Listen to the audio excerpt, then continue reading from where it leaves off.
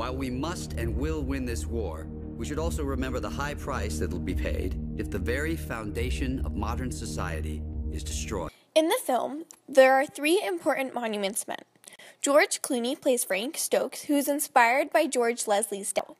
Matt Damon plays James Granger, who is inspired by James Rorimer.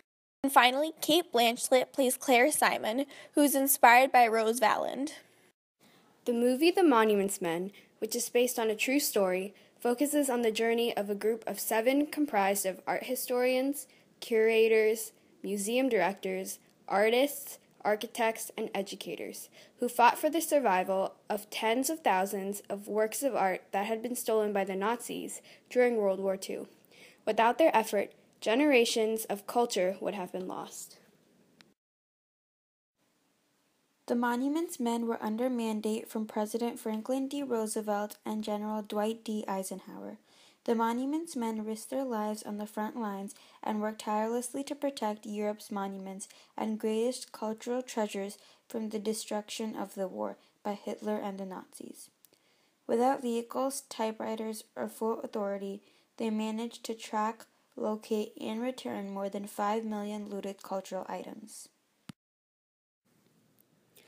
In the beginning of the movie, the audience is introduced to the different people who are a part of the Monuments Men. They are forced to train like soldiers so that they will be able to survive in the war atmosphere.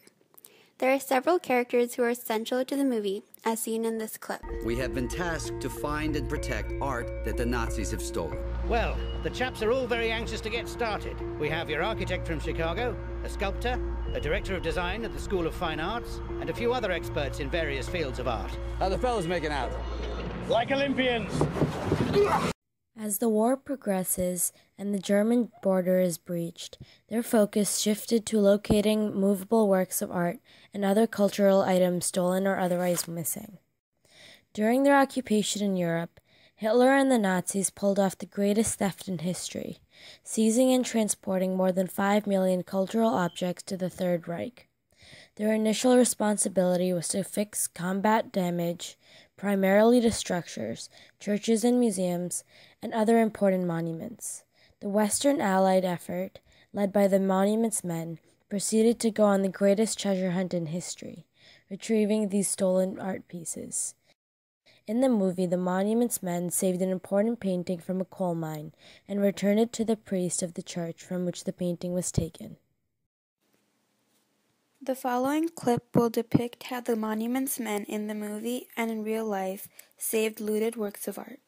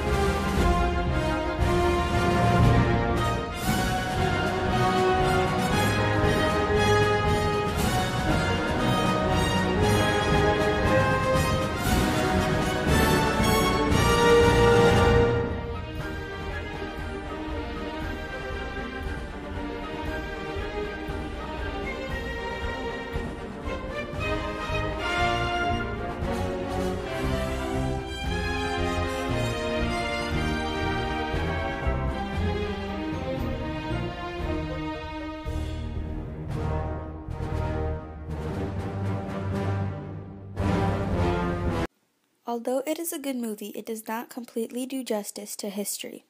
This can be seen as there are many large differences between the events that happened in history and the events in the movie.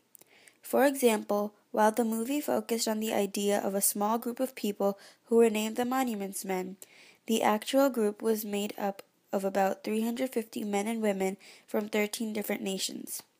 Also, the movie only depicted the Monuments Men recovering and protecting works of art. They also worked with military officials to dissuade enemy bombers from destroying culturally significant pieces and places.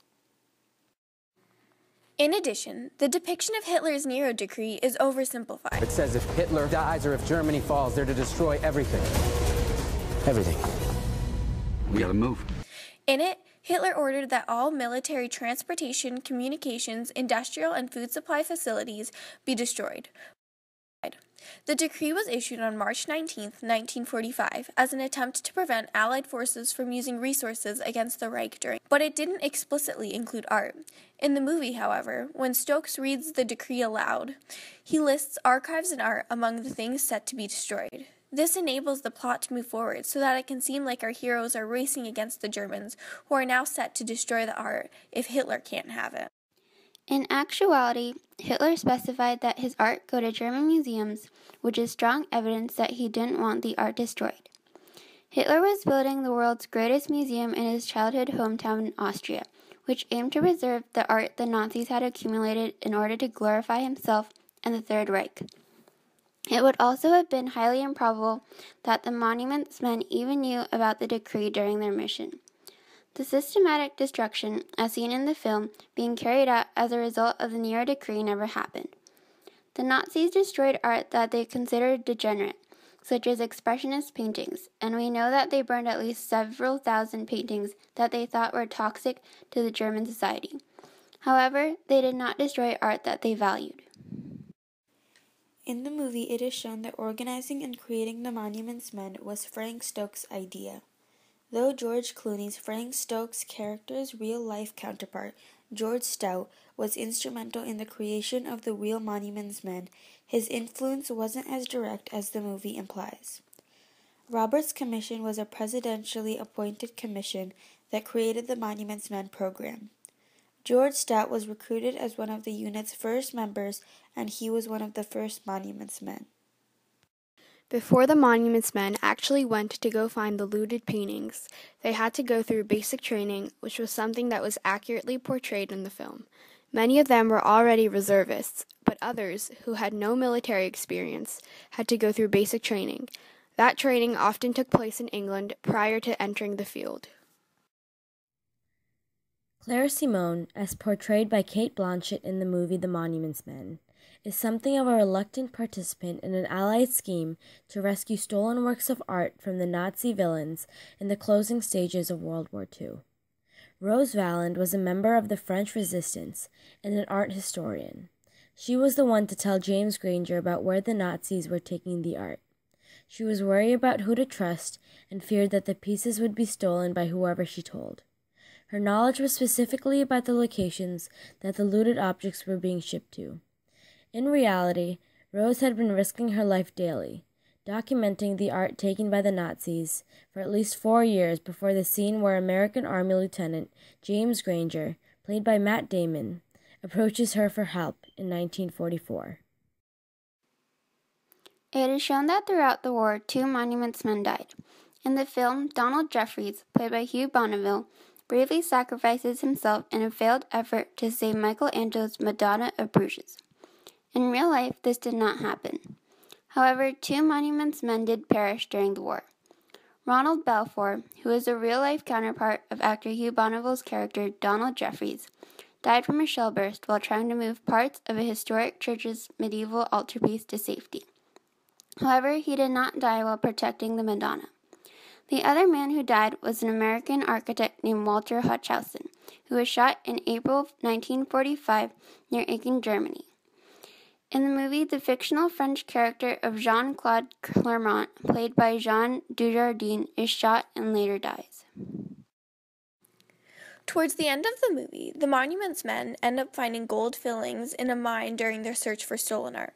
A lot of gold was pulled from the teeth of Holocaust victims, and some of it was found in chests or barrels filled to the brim.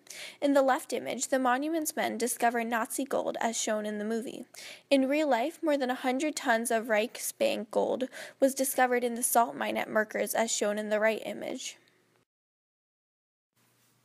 Real life Monuments Men Harry Etling talks about saving art from the mines. and how would you say that the film sort of accurately portrays what you experienced? Well, while a character, while my character within there that portrayed over here that uh, young uh, men and some women were active with the monuments men, his portion didn't cover the actual work that, or most of the work that I was involved in, namely uh, going into the mine, into two mines every day, uh, and uh, finding the boxes that contained uh, stolen works of art. That was my job uh, with information that I got from the outside. Even now, hundreds of thousands of paintings that had been stolen during World War II have not been found. For example, works of art such as Raphael's Portrait of a Young Man, Bernardo Bellotto's View of the Grand Canal in Venice, and Van Gogh's Vincent on His Way to Work are still missing. Although some pieces still may be missing, the Monuments Men made a monumental difference in saving the history and culture of the world. The movie has Hollywoodized their story, but it still gets the message across of the Monuments Men's story and is able to make their contributions to World War II known.